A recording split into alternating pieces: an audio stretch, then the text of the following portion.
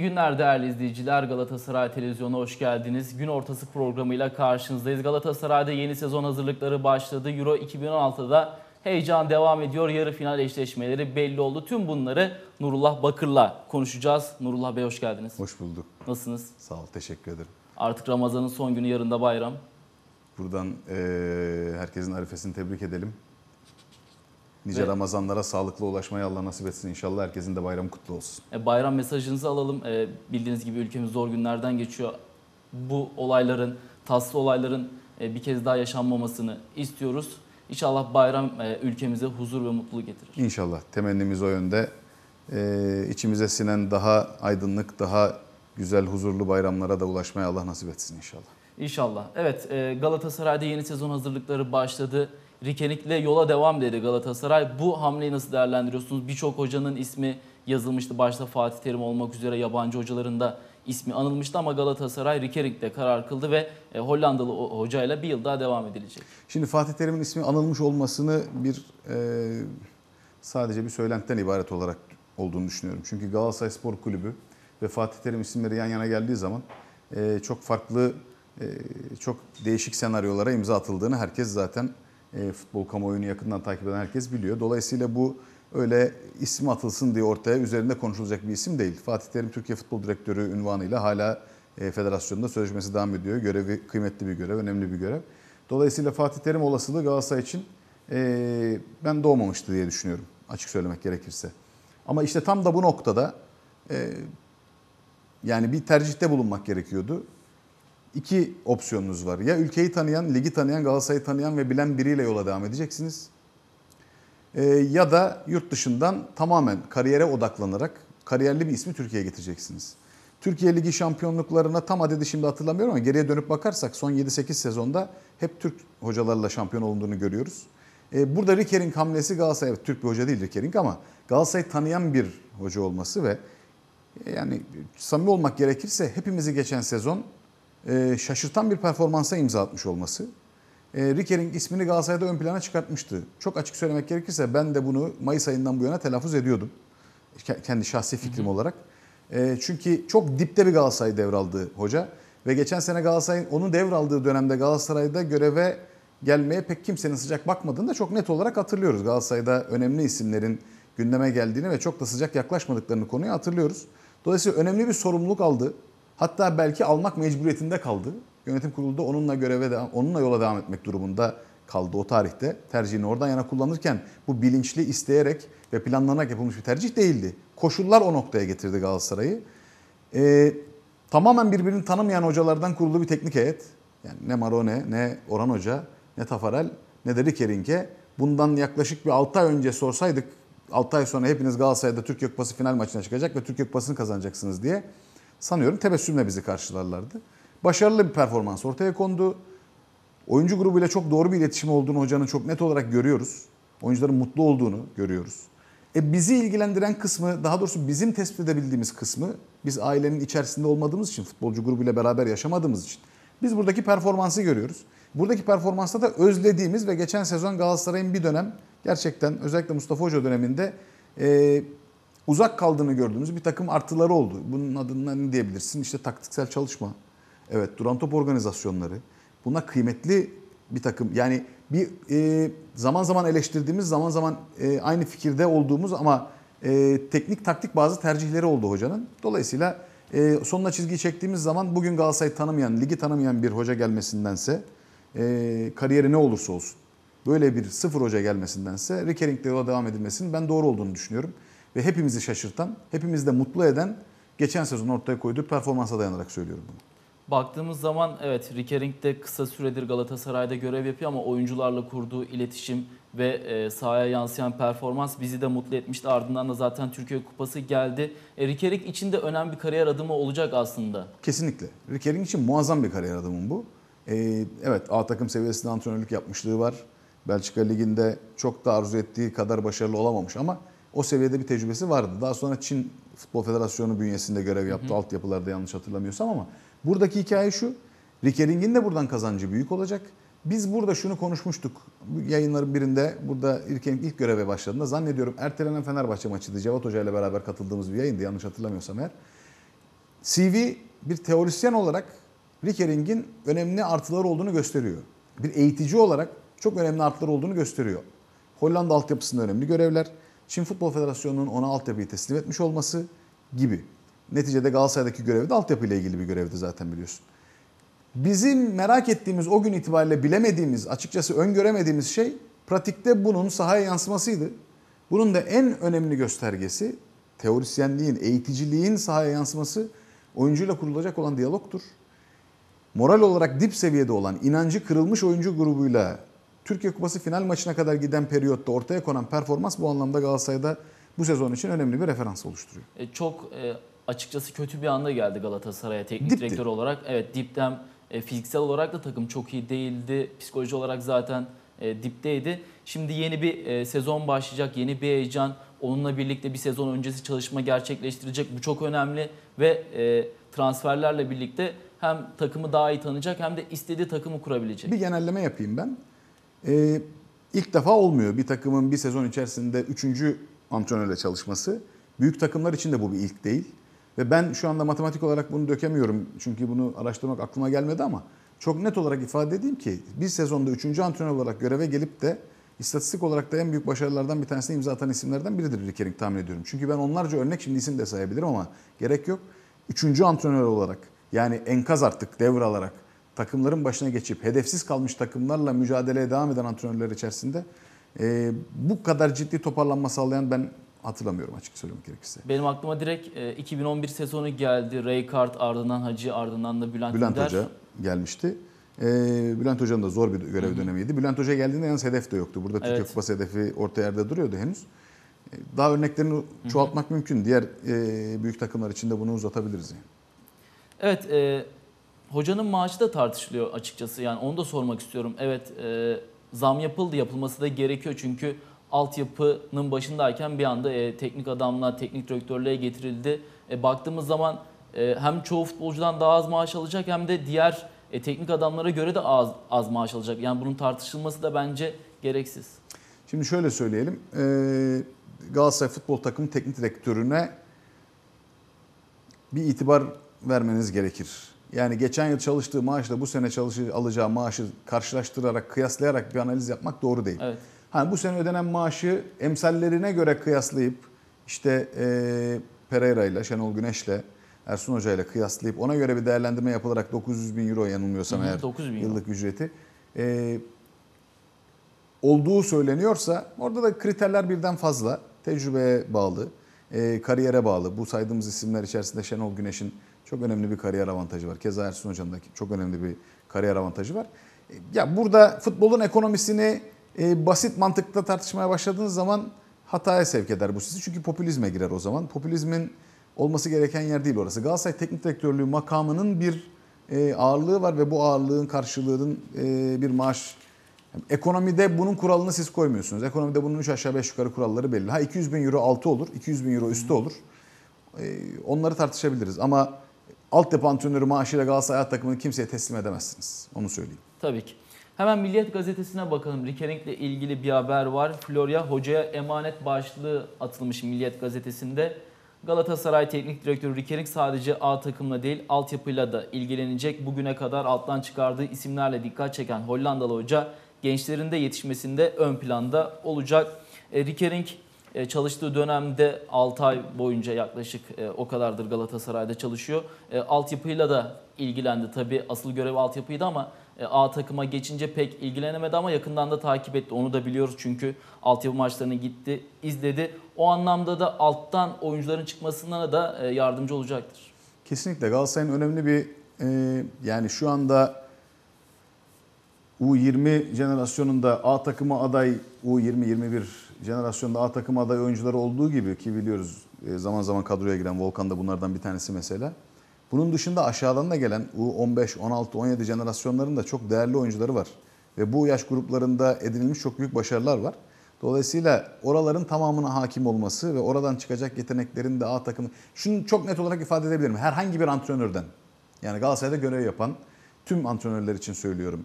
Ee, birçoğundan diyeyim, Jan Oliver Rikering'de çalışıyor olmak altyapı oyuncular için bir şans şu anda. Ve e, sanıyorum altyapıdaki görevi de devam edecek. Yani en azından oranın koordinasyonuyla ilgili görevi de devam edecek hocanın. Dolayısıyla hem onun hem Orhan Hoca'nın altyapıya olan hakimiyeti o oyuncular içerisinde Galatasaray takımında forma şansı bulabilecek isimleri artıracaktır. Ama burada devreye girmesi gereken oyuncuların bizzat kendileri ve ortaya koyacakları inanç, ciddi çalışma performansı. Temenni ederim ve dilerim ki hiçbiri yaz tatili yapmamışlardır mesela. Bakalım göreceğiz. E, kamp dönemi de yakında başlayacak. Kaç oyuncu götürülecek ya da götürülmeyecek mi şu an için bilemiyoruz. E, Galatasaray'da da transfer çalışmaları devam ediyor. İlk transfer Serdar Aziz oldu. Siz nasıl buldunuz Serdar Aziz transferini? İkiye ayırayım. İşin bütçe tarafı yönetim kurulunun bileceği iştir. Ee, az bir maliyet değil. Ciddi bir maliyetle Galatasaray katılıyor Serdar Aziz. Ee, onun bilançosunu, aktifini, pasifini yönetim kurulu transfer döneminin sonuna kadar alacağı aksiyonlarla ortaya koyacaktır. Futbolcu tarafıyla döndüğümüz zaman Türkiye'nin en önemli stoperi şu anda Serdar Aziz. Türk pasaportlu, e, Türkiye Ligi'nde oynayan diyeyim. Yani Ömer Toprak'a haksızlık olmasın ama e, Türkiye liglerinde oynayan Türk pasaportlu en kıymetli stoper. E, devamlılık problemini aşarsa, çünkü sezon ortası sakatlıklarla zaman zaman gündeme geldiğini Bursaspor'dan hatırlıyoruz. Avrupa Futbol Şampiyonası'nda kaçırdı malum en son e, son düzlükte. Ama Serdar Aziz'in Galatasaray'a katkı vereceğini düşünüyorum açık söylemek gerekirse.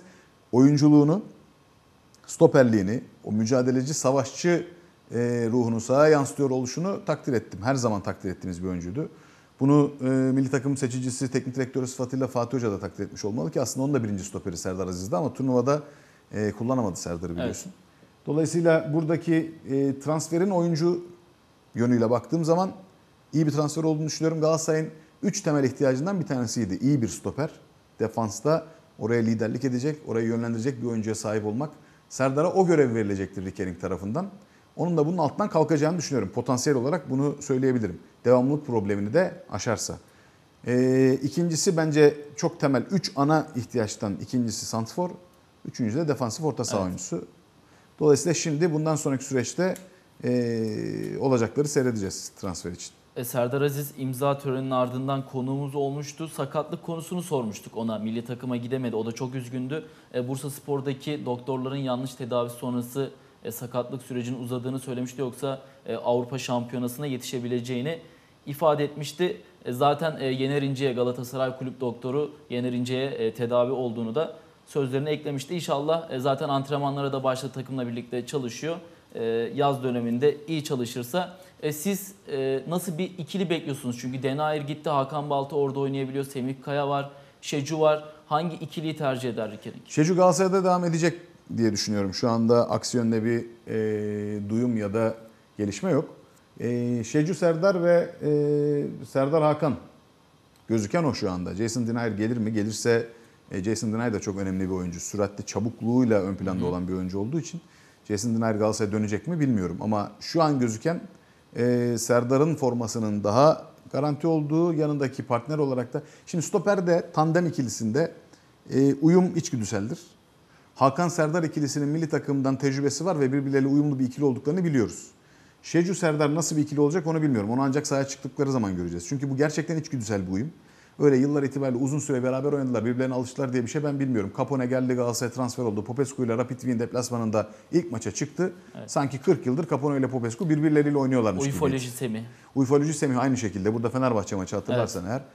e, Fatih Hoca koydu, sahaya çıktılar. Sezonu beraber bitirdiler kol kola. İnanılmaz bir şey. Tamamen içgüdüsel bu. Bilmiyorum Şecu'yla nasıl bir uyum sağlarlar ama Hakan'la iyi bir uyumlar olduğunu biliyorum. E, Semih Kaya da evet son e, sezonlarda biraz düşüşte o ilk yıllarına göre e, o kadar istediğimiz performansı yansıtamadı ama e, o da artık bir toparlanma sürecine girmiştir Rikenik'le birlikte. Sağ bekte görev verdi yine. Bundan sonra da sağ bekte Evet. seyretmeye devam ederiz Semih Kaya'yı diye düşünüyorum. Lines var o mevkide. Lines de güzel bir forma yarışı, Sabri de dahil. Üçü tabii. güzel bir forma yarışına girerler. Bence e, Semih Kaya'dan hoca Sağ bek sağ olarak kenarda, sağ kenarda faydalanacak diye düşünüyorum.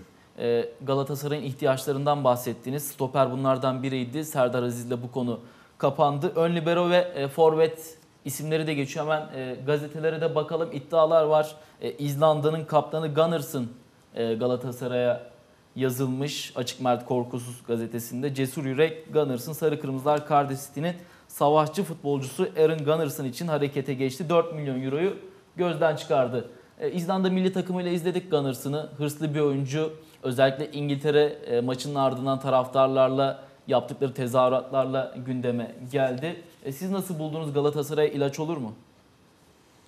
Yani e, transfer haberinin ne kadar gerçeğe yansıttığını bilmiyorum. Hani bir Galatasaray ilaç olup olmaması düzleminde değerlendirmektense Gunners'ın Gunners'ın tipi oyuncuların her zaman Galatasaray'a faydası olacağını söyleyeyim. Gunners'ın Galatasaray'a gelir ya da gelmez 4 milyon euroluk bir bütçe vesaire. Ya bunlar iddialar, iddiaları Ee, üzerinden hani ben değerlendiriyoruz. ben profil olarak Gunners'ın ve benzeri oyuncuların her zaman Galatasaray ve futbol takımlarında forma giymesi gerektiğini, ee, sahaya yüreğini, mücadelesini yansıtacak oyuncuların her zaman takımlara fayda sağlayacağını düşünüyorum. İşte demin adını söylediğin Uyfolüsü'den bahsetmiştin. Onun gibi ee, aslan gibi sahaya çıkıp yumruğunu sahaya vuracak oyuncular Galatasaray'a lazım. Dolayısıyla bu profilde oyuncular Galatasaray için ihtiyaçtır temenni ederim. İşte Gunnarsson olur ya da başkası olur bilemem ama Galatasaray'ın yapacaksa transfer e, hata, oyuncular. hata hata opsiyonu yok şu anda. Hata şansı yok. Evet. Çok isabetli transfer yapması lazım. Şimdi mesela bilmiyorum Şecu Gal- Galatasaray'da kalacaksa ve ne kadarlık bir bütçeyle Galatasaray hareket ediyor bilmiyorum ama belki Şecu'dan Galatasaray'ın orta sahada faydalanması durumu da söz konusu olabilir. Ama geçen sene e, izledik pek e, yararlı olmadı. Yani evet bence Donk'tan daha iyi oynadı. O Yani kesin Donk ama meselesi evet, sıkıntılı Evet. bir mesele oldu. Donk Donk Galatasaray için iyi bir transfer Evet. olmadı. Bilmiyorum Galatasaray'da kariyerine devam edecek mi? Ederse ne şekilde devam edecek ama işte biraz önce bahsettiğim işte Gunnars'ını konuşurken o sert, o mücadeleci, o e, saha yüreğini koyan oyuncu profilinden uzak bir görüntü sergiledi Donk. Şecu'nun orta saha performansı konusunda ben biraz ayrılıyorum senden. Açık söylemek gerekirse ha Galatasaray'ın idealindeki orta saha oyuncusu Aurelien Şecu mudur? Hayır değil ama e, şartlar onu gerektirecek ve Galatasaray orta Evet. sahasında bir takviye yapılmayacaksa Şecu Galatasaray'a orada fayda verir diye düşünüyorum onu söyleyeyim. e, Gunners'ın da biraz Lindelof'a benziyor. Onu da e, sevmiştik tabii sakatlık sebebiyle. Linderoth da çok aynen oynayamadı ama o, o karakterde bir oyuncu da Linderoth zaten Evet. aynen öyle. kuzey e, kuzeyden gelen oyuncular Galatasaray her zaman yararlı oluyor. Evet kesinlikle. Devam edelim gazetelere. E, Hürriyet'e bakalım. Yine başka bir isim yazılmış bu kez. E, Celtic'ten Johansen e, Galatasaray'la anılmış zeki savaşçı ve lider bu oyuncu için de Galatasaray'ın 3 milyon euroluk resmi teklifte bulunduğu yazılmış. Fanatik'e bakalım. Fanatik'te 3 ön libero adayı var. Delaney Kopenhag'dan ve Johansen Taksidis yine 3 oyuncunun ismi Galatasaray'la anılıyor. Açık Mert Korkusuz gazetesine geçiyoruz. Taksidis takası e, Cemali ile Taksidis'in e, takas edileceği yazılmış. Aslında Cemali'nin geçen seneki performans de e, milli takımdaki oyunuyla Galatasaray'a yararlı olabileceğini gördük. Biz geçen sezon, sezon e, bilirim Cemaili'yi niye yolladık? Niye o maaşın önemli bir kısmını ödemeye devam ettik ve o Genoa'da oynadı? E, ben anlamadım, anlamama konusunda da ısrarcıyım. Eğer bilirim Cemaili Galatasaray'da oynamayacağım ben diye bir net ve keskin bir şekilde bunu reddetmiyorsa, zorla kolundan tutup da Türkiye'ye getirmeyeceksek bilirim Cemaili Galatasaray'a gelsin. Galatasaray kadrosunda yer alsın ve bilirim Cemaili Galatasaray'a katkı versin, verir. O da o savaşçı oyunculardan bir tanesi. Kötü bir dönemde buradaydı. Prandelli ile kötü bir dönemde buradaydı. Sonra da Hamza Hoca da zamanında forma şan bir de sakatlık oldu yanlış hatırlamıyorsam eğer. Sakatlık Zaten dönüşünde e, gelmeden forma önce da çok bulamadı. fazla oynayamamıştı ve Prandelli ile birlikte o da sezona iyi başlayamadı. Ardından Prandelli'nin e, Cemaili'den faydalanma şekli yanlıştı. Yani Cemaili'ye sahada yer açmak için e, alternatif pozisyonlarda, sağ kenarda, sol Evet. kenarda böyle gerçekten o oyuncudan asla verim alamayacağınız yerlerde faydalandı. Bir de Prandelli'nin savunmaya yerleşim, takımı savunma duruşuyla ilgili bir takım e, öncelikleri ve hatta takıntı seviyesinde e, ne, öncelikleri olduğu için Şimdi hücuma hızlı çıkışla ilgili kenar oyuncuları vesaire falan Prandelli'nin böyle planı yoktu. Her şey sahaya yerleşim üzerine. Tam bir işte klasik e, genel, genel anlamda bir İtalyan mantığı. Şimdi Conte'nin alt üst ettiği hız yani evet hala sağlam müdafaa yapıyor İtalyan milli takımı. Çok koşuyor, çok basıyor. Ama aynı zamanda da inanılmaz da süratli hücuma çıkan bir takım var İtalyan milli takımında. E, Cemail'in sağ kenar oynadığı takım hızlı hücuma çıkamazdı yani Evet. Galatasaray'da. Mümkün değil. Halbuki Cemail'i bir orta saha oyuncusu olarak bugün İsviçre milli takımında forma giydiği pozisyonda geçen sezon Galatasaray'da çok büyük hizmet verirdi. Gerçekten çok büyük ihtiyaçtı Galatasaray'ın. Hiç olmayan pozisyonuydu. Bilmiyorum ben Yunan oyuncuyu tanımıyorum. E, açık söylemek gerekirse Ben de çok, çok detayına detayına bildiğim bir oyuncu değil ama e, bilirim Cemaili Galatasaray'da kalacaksa kalmalıdır. Ve Galatasaray'a katkı verir bu sezon. Evet bence de. E, çünkü e, hem Cenova'daki futbol hem de milli takımdaki Çok net. futboluyla beğenildi. Bir de Buruma ile ilgili bir iddia var. Devler onu istiyor. Sevilla ve Monaco Buruma için Galatasaray'ın kapısında. E, Buruma ve Telis'in aslında e, daha iyi oynamasını bekliyorduk. E, hem Real Sociedad'da hem de Inter'de ama ikisi de e, çok iyi oynayamadı. Telis ve Buruma geri dönüyor. İki takım da opsiyonu kullanmadı. Buruma'dan zaten e, beklediğimiz gelişimi bir türlü göremedik. Evet iyi başlamıştı. İyi geldi ama e, o sakatlık döneminin ardından o da e, ilk geldiği gibi olamadı çünkü sakatlık ağır bir sakatlık geçirdi. Genç bir futbolcu, e, biraz da e, güçsüz bir futbolcu, biraz e, korkak oynadı. E, İspanya'da o aradığını bulamadı. Ben şöyle söyleyeyim. Alex Telles için söyleyeyim. Alex Telles'in alternatifi Galatasaray'da şu anda var. Lionel Carroll e, sakatlık sonrası özellikle Rickering'in gelişiyle beraber çok üst düzey bir performans sergilemeye başladı. Gerçekten bence bu oyunu oynamaya devam ederse Avrupa'nın da önde gelen sol kenar oyuncularından bir tanesi olur bek olarak. Maliyeti Çünkü- de düşük Galatasaray Çünkü için. gerçekten hem güçlü bir oyuncu hem ciddi hücum bindirmeleri var. Yani oyun zekasıyla da çok önemli bir e, değer Galatasaray için. Dolayısıyla Alex Telles'in bir alternatifi var ve Alex Telles kalırsa kalacak. Ama Porto'yla ciddi şekilde Evet, öyle iddialar var. söyleniyor. Önemli de bir bonservis ücretiyle adı geçiyor şu anda. Alex Telles için bir şey söylemiyorum. Yani Galatasaray için çok çok büyük bir kayıp olmaz. Gidebilir diyorsunuz. Ee, evet çünkü alternatif var. Yani o mevkide şu anda Lionel Carroll önemli bir katkı veriyor Galatasaray'a. Bruma için ben Bruma'nın Rikering'le çalışmasını açıkçası istiyorum. Benim hala Bruma'dan ciddi ümidim var. Bruma çok kabiliyetli bir oyuncu. Bir yerde yani o burada olmazsa giderse gittiği yerlerin birinde başka bir oyuncuya evrilecek. Ee, şu an bu gözle baktığım zaman Jan Olle Rikering tam bu iş için uygun adam Galatasaray Teknik Direktörü. Ee, onun da kariyeri açısından Galatasaray'ın da onunla ilgili beklentilerine yaklaşması açısından Buruma Rikering ikilisinin Galatasaray'da birlikte çalışması en azından bir sezonu beraber geçirmelerini canı gönülden istiyorum. Ee, ve hiç uğruna böyle 3-4 milyon eurolar gibi bir paraya satılmasındansa Galatasaray'da değerini bulup çok belki daha farklı bir transfere imza atabilir veyahut da Galatasaray'da uzun yıllar Galatasaray'a hizmet verebilir. Dolayısıyla Buruma konusunda TS'den ayrılıyorum. Buruma'nın Galatasaray'da bu sezonu oynaması gerektiğini, aynı Cemaili gibi Buruma'nın da bu sezonu Galatasaray'da oynaması gerektiğini düşünüyorum. Galatasaray'ın da e, kanatlarda ihtiyacı var aslında. Hem de çok ihtiyacı var. Geçen Yani- sene çok aradık. Çok ihtiyaç var Galatasaray'ın. Ee, o bölgede şu anda Sinan geçen sezon sakatlandığında, Yasin performans olarak bir önceki yılı e, yakalayamadığı dönemde, Podolski'nin mecburen santrfor pozisyona geçtiği dönemde Galatasaray'ın kenarlarda oynayacak oyuncuya ihtiyacı oldu. Sabri'yi kullandı, Olcan'ı kullandı ki bence artık Olcan artık bir ön oyuncusu değil. E, Bek'te daha e, faydalı Galatasaray'a. Karol'le birlikte Galatasaray'ın sol bek pozisyonunda faydalanması gereken bir oyuncu. Dolayısıyla Buruma Galatasaray için e, transfer etkisi yaratır öyle söyleyeyim. Bence Buruma'nın e, asıl ihtiyacı olan özgüven. Evet teknik taktik kısmı işin e, bir yana ama e, verilmesi gereken özgüven ona biraz cesaret verilmesi gerekiyor. Kesinlikle burada da Rikering ismi devreye giriyor işte. Evet e, Galatasaray ile ilgili gelişmeler şimdilik böyle saat 17'de de basına açık olarak antrenmanı gerçekleştirecek. Galatasaray Euro 2016 ile devam edelim artık e, yarı finallerde belli oldu. İlk olarak çeyrek final e, maçlarını konuşalım. Polonya Portekiz maçıyla başlayalım. 1-1 bitti normal süresi ve uzatmaları. Portekiz e, penaltılarda Polonya'yı elemeyi başardı. Ben e, Hırvatistan'ı favori olarak görüyordum final için ama e, Portekiz Hırvatistan'ı eleyince Portekiz büyük bir avantaj yakaladı. Zaten onunla birlikte de Polonya'yı eledi. Şimdi Portekiz bir türlü istenen seviyeye çıkmadı oyun olarak ama turnuvada yarı finale çıktı. Evet. Ee, Normal süre içinde galibiyeti yok. Açıkçası bu turnuvada beni en fazla hayal kırıklığına uğratan maçların en başında Portekiz-Hırvatistan maçı var. Evet. Yani Hırvatistan'ın o gün ortaya koyduğu silik oyunu anlayabilmemin imkanı yok.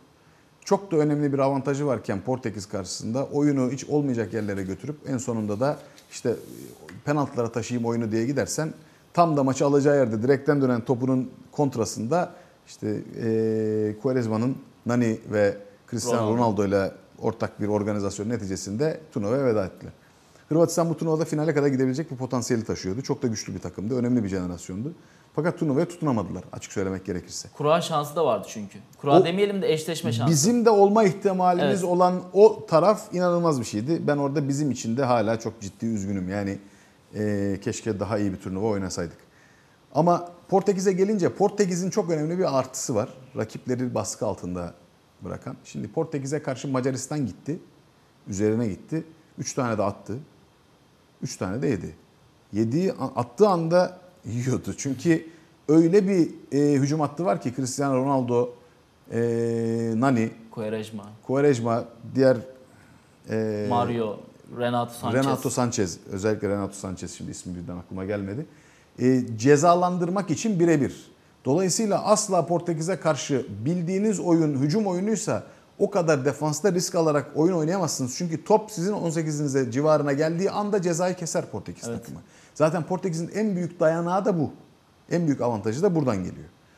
Bu senaryo içerisinde Portekiz'in Galler'le oynayacağı maç bence bu turnuvadaki işin e, nasıl söyleyeyim en dramatik maçlarından bir tanesi şu anlamda dramatik derken yani ön planda olacak maçlarından bir tanesi bir meydan okuma maçı. Gareth Bale'la Ronaldo. e, Cristiano Ronaldo'nun bir meydan okuma maçı bu. İkisi de Real Madrid'in önemli oyuncuları. ikisi de değerli oyuncuları. E, hatta Real Madrid'de tribünler daha ziyade Ronaldo'cudur. Gareth Bale'dan biraz daha uzak dururlar. Ronaldo'yu ön planda tutmayı severler. Dolayısıyla e, birbirlerine karşı bir ciddi meydan okuma maçı oynayacaklar.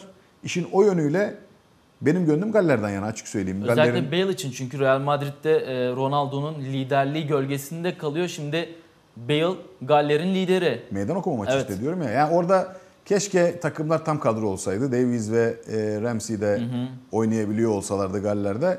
Ama fark etmez. Yani e, muazzam bir maç olacağını düşünüyorum açık söylemek gerekirse. E, Bakalım Galler ne yapacak? Çünkü dediğim Evet. gibi risk alamazsınız Portekiz'e karşı. Alırsanız bedelini ödemek üzere alıyorsunuz o riski. Macaristan aldı, bedelini ödedi. Maç 3-3 bitti. Açık alan bıraktığınız anda cezayı felaket keser Portekiz takım. Bu turnuvada cezayı onlar kadar net kesecek bir hücum hattı yok hiçbir takımda.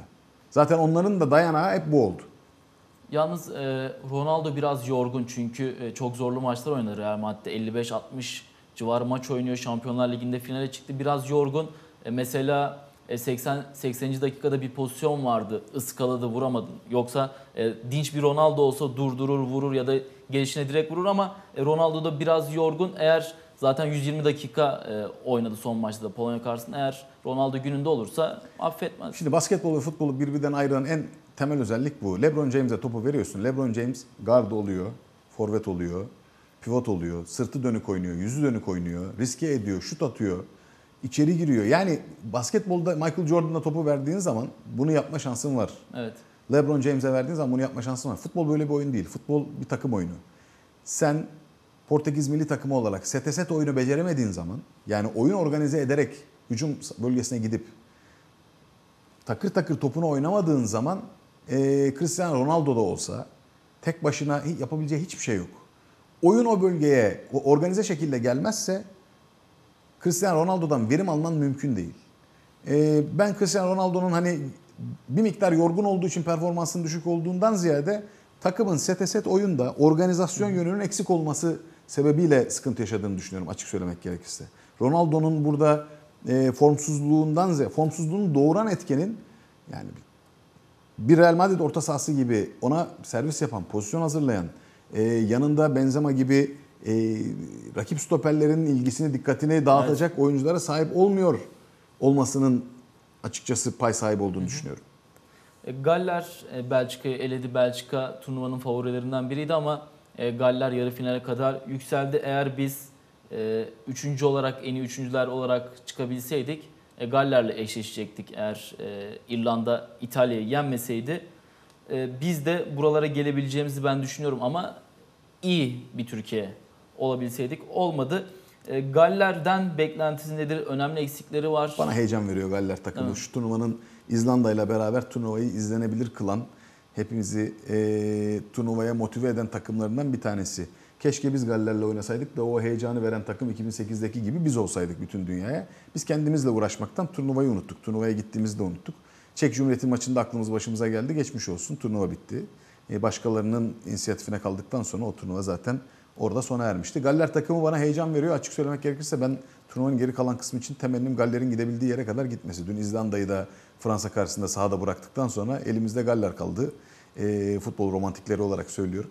Ama öbür tarafta Fransa-Almanya maçı futbolun devlerinin maçı. Ev sahibi Fransa iyi de top oynamaya başladı. Alman milli takımı onların da mesela son maçtaki performansı İtalya güçlü bir rakipti ama İtalya'ya karşı daha etkili olabileceklerini düşünüyordum ben. Alman yani şöyle söyleyeyim Almanya e, Dünya Kupası'ndaki kadar etkili ve e, buldozer görüntüsünde değil açık söylemek gerekirse. Bir kırılganlığı var. Bence en önemli oyuncularından bir tanesi Mario Gomez'di ve turnuvayı kapatmış olması onlar için çok büyük bir kayıp. Mario Gomez'in turnuvayı kapatmış olması bundan sonraki süreçte belki Lukas Podolski'ye e, dakika fırsatı açar mı? İlk 11'de olmasa da müdahale oyuncusu olarak, sahaya müdahale oyuncusu olarak belki Fransa maçında ve kalırlarsa final maçında Podolski'yi de sahada biraz daha efektif olarak görebiliriz. E, benim için Galler'in ortaya koyacağı performans kıymetli, önemli. E, hatta benim e, sağ olsun bacanağım da bana bir İngiltere'den bir Galler tişörtü getirmişti. Yarın giyip onu maçı öyle seyredeceğim inşallah. E, Portekiz-Galler eşleşmesinde kimi daha şanslı görüyorsunuz? Galler'i. Galler'i mi? Turnuva rüzgarı arkasında olduğu için. Fakat turnuva şansı da Portekiz'le beraber. Evet. Ben Galler'in açıkçası e, bu rüzgarla beraber finale kadar gideceğini düşünüyorum. Çünkü Gareth Bale çok önemli bir oyuncu. Ve Gareth Bale'ın takıma uyumu, Gareth Bale'ın rolü e, takım alıp götürmeye daha müsait Cristiano Ronaldo'ya göre. E, çeyrek finalin en zorlu eşleşmesinde Almanya ile İtalya karşılaştı. Orada da penaltılara gitti ve özellikle ilk 5 penaltıda inanılmaz kötü penaltı Ben kullandılar. hayatımda böyle bir şey görmedim. Yani e, Zaza'nın penaltısı malum zaten. Çok komikti. Cümle alem tarafından da şu anda e, tiye alınıyor. Ya hikaye şu, e, bir kere bir. Ya şu penaltı atışlarından önce penaltı atsın diye, kurtarsın diye yapılan oyuncu değişiklikleri kadar antipatik, bu kadar da negatif enerji üzerine çeken bir şey ben hayatımda görmedim. Zaza'nın da başına geldi keza aynı şekilde. Sadece penaltı atsın diye oyuna oyuncu sokuyorsunuz. O da gidiyor penaltıyı üstten out atıyor. E, çünkü üzerine baskı yüklüyorsunuz. Yani bu kolay bir şey değildir. Bu insan etten kemikten insan gidecek, topu koyacak penaltı noktasına, atışını tamamlayacak, e, gol atması lazım.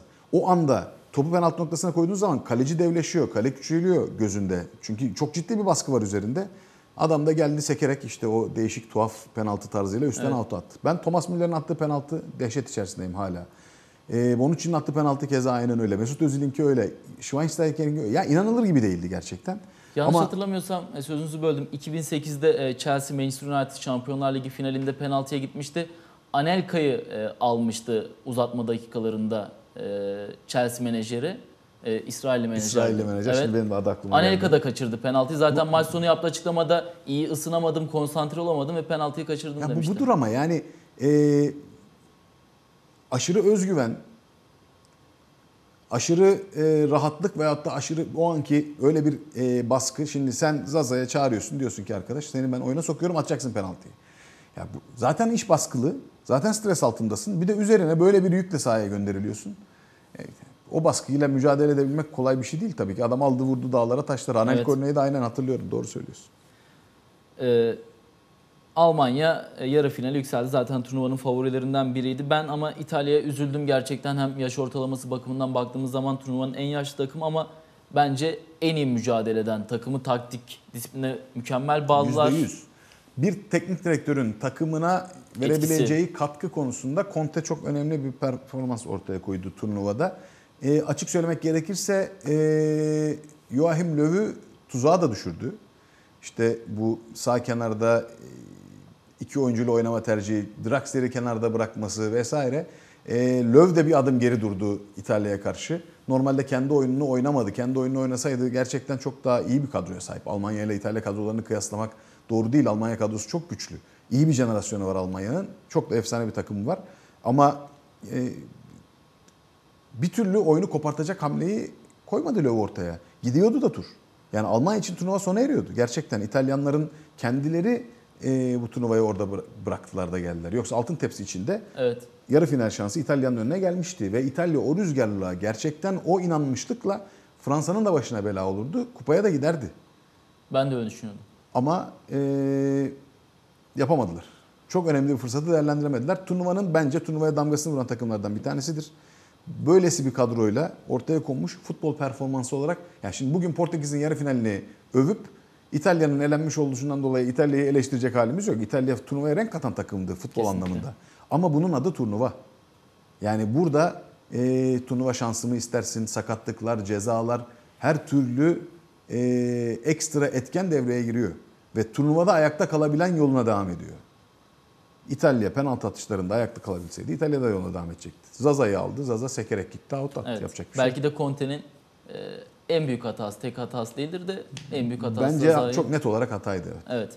Ee, söz e, dönüp dolaşıyor milli takımımıza geliyor. Şimdi İtalya'yı konuştuk. Baktık e, maçın ardından Buffon ağladı.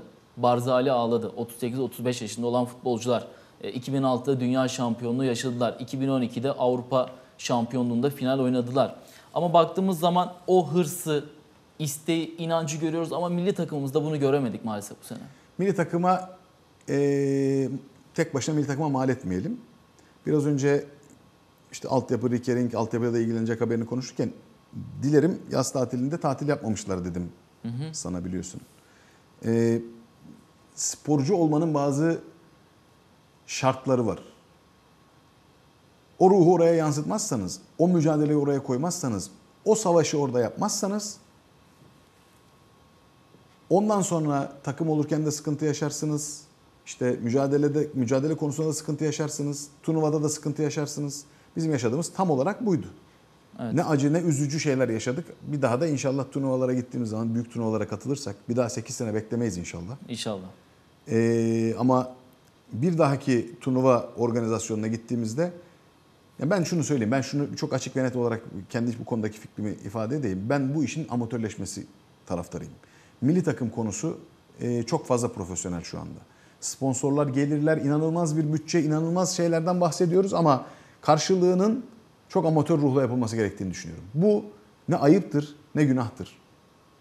Türkiye Futbol Federasyonu bunu ilan etmelidir. Arkadaş futbol milli takımı için söylüyorum. Büyük turnuvalarda çeyrek final seviyesine kadar prim diye bir şey olmaz. Yani burada prim yok diye milli takım forması giymekten imtina eden oyunculara da haklıdır. Bak o da bir haktır bir şey diyemem. Ha, teşekkür edersin. Bu ülkeye 75 milyon nüfusunun içerisinden çok önemli değerleri çıkartır. Her seviyede oraya gider milli takımda da oynar. Demin aşağıda Can'la konuşuyorduk. Basketbol milli takımdan konu açıldı. 2006 Dünya Şampiyonası Japonya'ya. Büyük NBA yıldızlarımız vardı. Gelmedi hiçbiri. Türkiye Ligi'nden bir kadroyla gittik. Dünya beşincisi olduk geldik. Muazzam bir turnuva oynadık. Ya turnuva işi inanmışlık işidir. Turnuva işi böyle tek yumruk olma işidir. İtalya milli takımının işte bugün neredeyse 40 yaşına gelmiş bu fondan hala son turnuvası mı değil mi onu tartışıyorsak eğer. Hala bu fon bu turnuvada İtalya'nın en önemli silahlarından bir tanesi ise eğer. Bu fona sor bakalım e, günde kaç saat idman yapıyor? Bu fon hayatını futbola ne kadar, spora ne kadar adamış? David Beckham ya. David Beckham 38-39 yaşında 3 aylığına kiralık gittiği Paris Saint Germain'de Şampiyonlar Ligi maçlarında ilk 11 oynuyordu. Evet. David Beckham'ın yıllık geliri Türkiye Futbol Federasyonu bütçesiyle falan mukayese edeceğiz neredeyse. Böyle bir adamdan bahsediyoruz.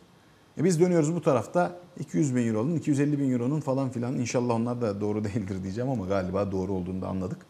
E ondan sonra turnuva bizim için neden erken bitti? Biter ya. Bitsin zaten ben söyleyeyim. Biz yumruk olamıyorsak eğer, tek yumruk olamıyorsak eğer turnuva da bitsin. Zaten öyle olmayınca Kendimize da- gelelim. Biz bu Futbol Federasyonu'nun büyük özür dilerim. Şu son söylemimi de toparlayayım. Bu Futbol Federasyonu'nun milli takımlar bu nezdindeki büyük bütçesini koşulsuz, şartsız her türlü altyapıya aktarmak mecburiyetindeyiz. Altyapının da bir numaralı aktörü antrenörlerdir.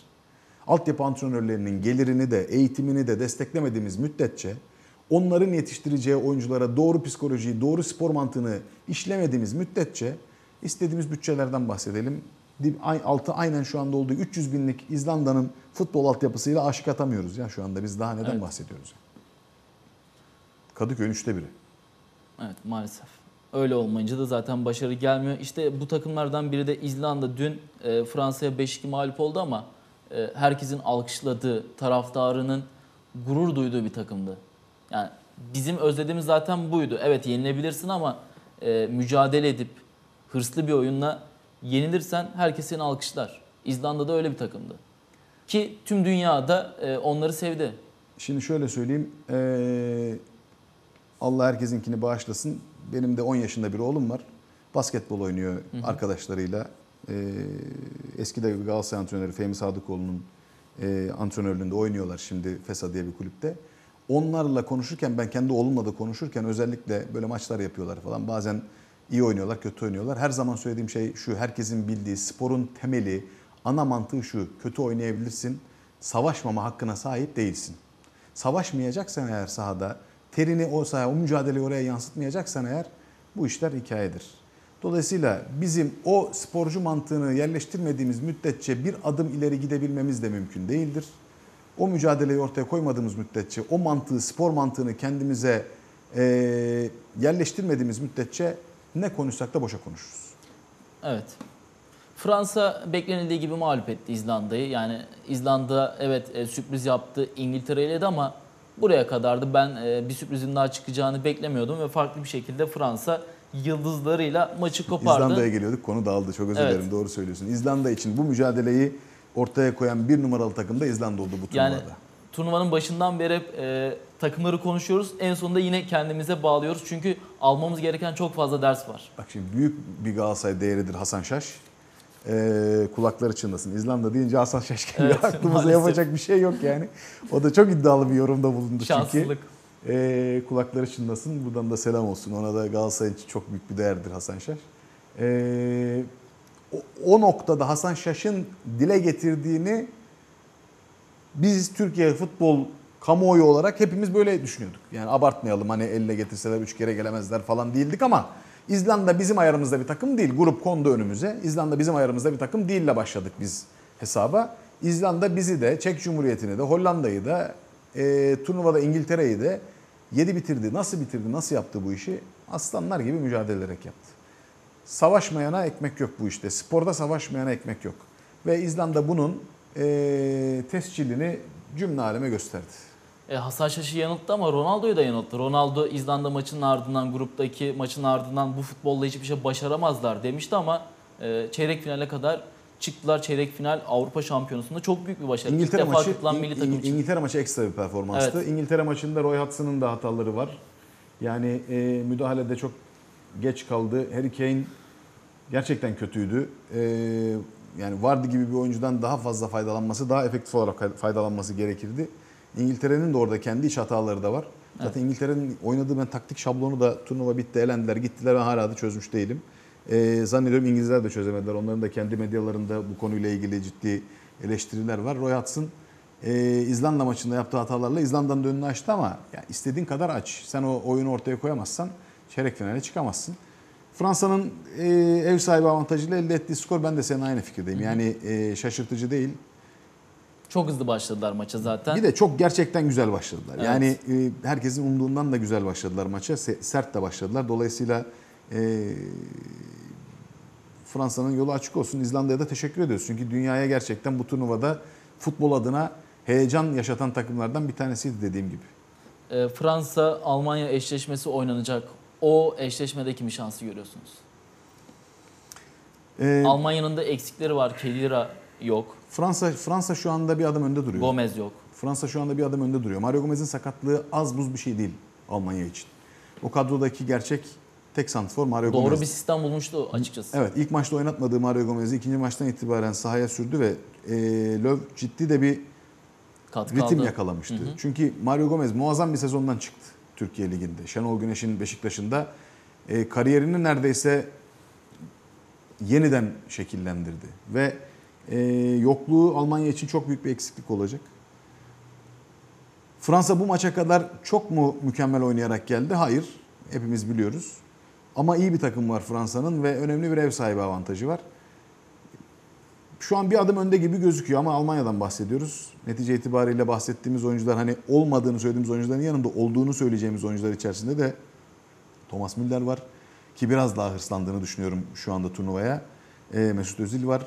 Julian Draxler var. Göste var. Mario Götze var. Yani iyi bir e, takım evet. Lukas Podolski var. Var da var. Yani e, çok ciddi bir Alman takımından bahsediyoruz. O yüzden güzel bir maç olacaktır diye düşünüyorum. E, Ben de evet e, Fransa'nın biraz daha avantajlı olduğunu düşünüyorum ama e, Almanya'yı göz ardı edemeyiz. Onlar da çok güçlü bir kadroya sahip. Başa baş bir mücadelenin olacağını düşünüyorum ama bu kez maçın 1-1'e ya da 0-0'a e, sıkışacağını düşünmüyorum. Çünkü önemli maçların çoğu penaltılara gitti ya da uzatmalara gitti. Ben de bu maçın e, o daha potansiyeli zevkli bir maç olacaktır. Galler Portekiz belki Portekiz'in Evet. geleneği gereği bir beraberlik bekleyebiliriz ama öbür maçta ben böyle efektif, güzel, etkili bir oyun bekliyorum açık söylemek gerekirse. Ama e, sizin gönlünüz Galler'in finale çıkmasından yana. Bir Gallerliyiz ya. Orası öyle. Bakalım eğer e, olursa Galler e, Yunanistan gibi bir sürpriz yaparsa belki Yunanistan'dan daha büyük bir sürpriz olacak. Çünkü ilk defa katılıyorlar. Şimdi Yunanistan muazzam bir e, iş başarmıştı 2004'te. Ama yani kavga dövüş başardı. Mücadeleyle, sadece mücadeleyle salt. E, ama şimdi Galler'inki öyle değil. Galler'in heyecan da veren bir futbolu var. Evet, Ne yıldızları olursa var, olsun heyecan yıldızları veren var, heyecan veren bir oyunu var. Güzel de futbol oynuyor. Dolayısıyla e, iyi bir şey olur. Son olarak basketbol diyelim. Basketboldan bir haberimiz var. A milli erkek basketbol takımımız Rio Olimpiyat oyunlarına katılabilmek için elemelerde mücadele edecek ve 12 dev adam yarın ilk maçında Kanada ile karşılaşacak. Filipinlerin başkenti Manila'da düzenlenecek 2016 Rio Olimpiyat Oyunları elemelerinde mücadele edecek A milli erkek basketbol takımı A grubundaki ilk maçında yarın Kanada ile karşılaşacak. Mall of Asia Arena'da oynanacak karşılaşma Türkiye saatiyle 13.30'da başlayacak. Kanada ve Senegal'in de yer aldığı A grubunda ilk iki sırada yer alacak takımlar Fransa, Filipinler ve Yeni Zelanda'nın bulunduğu B grubunu ilk ikide bitirecek ekiplerle yarı finalde çapraz eşleşmeyle mücadele edecek. Yarı finali geçen ekiplerin karşılaşacağı finali kazanacak ekip 2016 Rio Olimpiyat oyunlarına katılım hakkını elde edecek. Organizasyonda yarı finaller 9 Temmuz Cumartesi, finalse 10 Temmuz Pazar günü oynanacak. Manila'daki maçların programı şu şekilde. A grubu yarın saat 13.30 Türkiye Kanada. 6 Temmuz Çarşamba saat 13.30 Kanada Senegal. 7 Temmuz Perşembe saat 13.30 Senegal Türkiye. B grubu yarın saat 16 Fransa Filipinler. 6 Temmuz Çarşamba saat 16 Filipinler Yeni Zelanda. 7 Temmuz Perşembe saat 16 Yeni Zelanda Fransa. Öte yandan Filipinler dışında İtalya ve Sırbistan'da oynanan elemelerde iki takım daha Rio vizesi alacak. Sırbistan'ın başkenti Belgrad'daki mücadelelerde A grubunda Sırbistan, Angola ve Porto Rico, B grubunda ise Japonya, Çek Cumhuriyeti ve Letonya yer alacak. İtalya'nın Torino şehrinin ev sahipliği yaptığı diğer bir elemede ise A grubunda Yunanistan, Meksika ve İran, B grubunda da Tunus, Hırvatistan ve İtalya Rio vizesi için mücadele edecek. Olimpiyat heyecanı Arjantin, Avustralya, Brezilya, Çin, Litvanya, Nijerya, İspanya, Amerika Birleşik Devletleri ve Venezuela erkek basketbol takımlarının yanı sıra 3 ülkenin de katılımıyla 6-21 Ağustos'ta yaşanacak. Melih köşede bir Kambatuk aynı noktadan bir üçlük daha. Bir Kambatuk üst üste iki üçlük. Milli takımımız olimpiyatlar için elemelerde mücadele edecek ve 12 dev adamı Esat Yılmar ile konuşacağız. Esat Bey hoş geldiniz. Milli takımımız e, önemli karşılaşmaları çıkacak, elemelerde mücadele edecek. Şansı nasıl görüyorsunuz? Ee, milli takımımızın tabii ki e, hedefi e, Rio Olimpiyatlarına gitmek. Bunun için de ilk sıramızı yarın e, Kanada karşısında vereceğiz. Kanada e, buraya NBA'den 5 oyuncu takviyesiyle geldi. Özellikle de e, son şampiyon Cleveland'ın pivotu Thompson'a da kadrolarına katılan güçlü bir takıma karşı oynayacağız. Hedefimiz e, bu önemli turnuvaya e, galibiyetle başlamak. Kanada maçını geçersek ardından Senegal'den karşılaşacağız.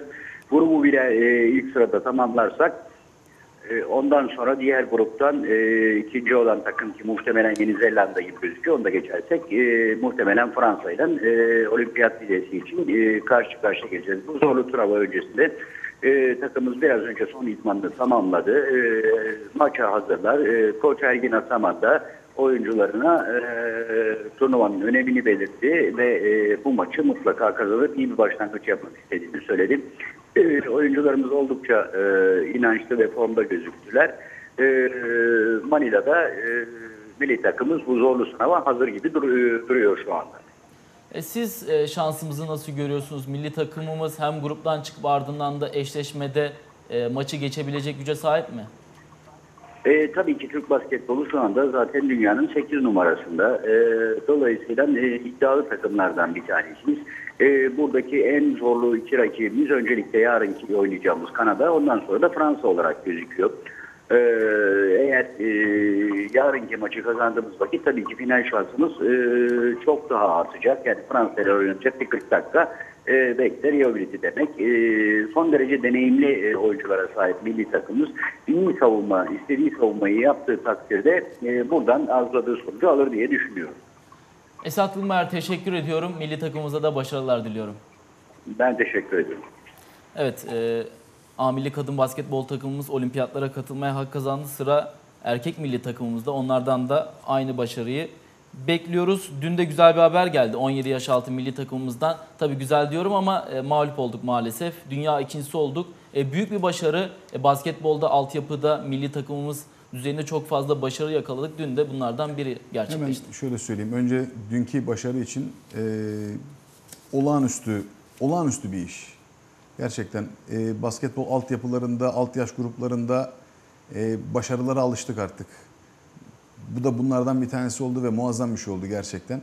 E, dünkü Amerika takımıyla mücadele etmek sadece bizim için değil, Avrupa e, ve dünya üzerindeki Amerika hariç tüm ülkeler için çok zor. Çünkü çok atletik.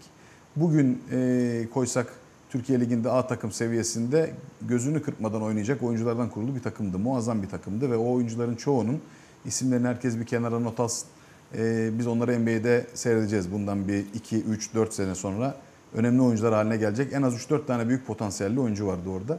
E, bizim takımımız çok büyük bir işe imza atarak dünya ikinciliği gibi e, muazzam bir sonuçla dönüyor turnuvadan ve onların önü açık 18, 19, 20.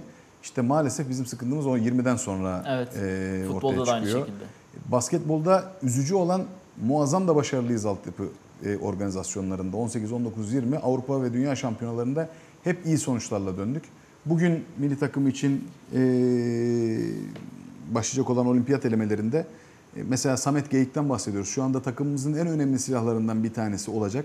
E, kendi pozisyonunda 4 numara pozisyonda alternatif olmayan, kadrodaki tek oyuncu pozisyonda alternatif olmayan Samet e, sezon boyu neredeyse e, hiç diyeceğimiz ölçüde dakika alarak sezonu tamamladı Karşıyaka'da. Temenni ederim önümüzdeki sene zannediyorum Anadolu Efes'te oynayacak. Daha fazla dakika alma şansı olur. E, Türk oyuncularının maalesef dakika alamadı. Evet bir şeyi tercih ediyoruz. Ligimizin seviyesini yukarı çekmek için, e, Avrupa kupalarında kulüplerimizin başarılarını yukarı çekmek için bazı tercihlerde bulunuyoruz. Ama buna karşılık A milli takım seviyesine geldiğimiz zaman e, sahaya çıkarttığımız oyuncuların birçoğu kendi kulüplerinde bugün 12 kişiyle oraya gidiyoruz. Oğuz Savaş sezonun ikinci yarısını hiç oynamadan geçirdi. Sıfır. E, Samet Geyik aynı şekilde. Baktığınız zaman Furkan Korkmaz'ın aldığı dakika belli. Kaldı ki o da Efes'te böyle bir imkan verildiği için. Çok kısıtlı dakikalar alan oyuncularla gideceğiz. İşte bir Bobby Dixon, bir Sinan Güler. e, bir de NBA'de Ömer Aşık'ın oynadığı, Semih Erden'in oynadığını görüyoruz. Onun dışındaki 8 oyuncumuzun e, çok ciddi dakika problemi var sezon içerisinde. Onların nasıl bir gelişim göstereceklerini izleyeceğiz. Ben Yunanistan'la oynanan, İstanbul'da oynanan son hazırlık maçında açıkçası çok e, ümitlendim. Çok samimi söylemek gerekirse. Oradaki maçta kötüydük ama burada Evet, burada burada bir hayli toparlanmış gördüm takımı. Yani burada kritik adam Bobby Dixon. Eğer Bobby Dixon e, turnuvaya tutunursa orada bizim bildiğimiz Fenerbahçe'nin Euroleague macerasından hatırladığımız Bobby Dixon performansını seyredersek çünkü yanında Sinan'la, Semih'le, e, bu işi yönet Cedi'yle, bu işi yönetebilecek oyuncularımız var ama birinin bu yükü omuzlaması lazım. O da Bobby Dixon şu anda gözüken Bobby Dixon. E, Onun performansı çok önemli bizim için. Evet, Nurullah Bakır sohbetimizin sonuna geldik. Teşekkür ediyorum. İyi bayramlar diliyorum. Tekrar ben de herkesin tüm izleyenlerin bayramını tebrik ediyorum. Teşekkür ederim. Nurullah Bakır'la birlikte gündemdeki konuları konuştuk. Hem futbolu hem de basketbolu değerlendirdik. Herkese mutlu günler diliyorum.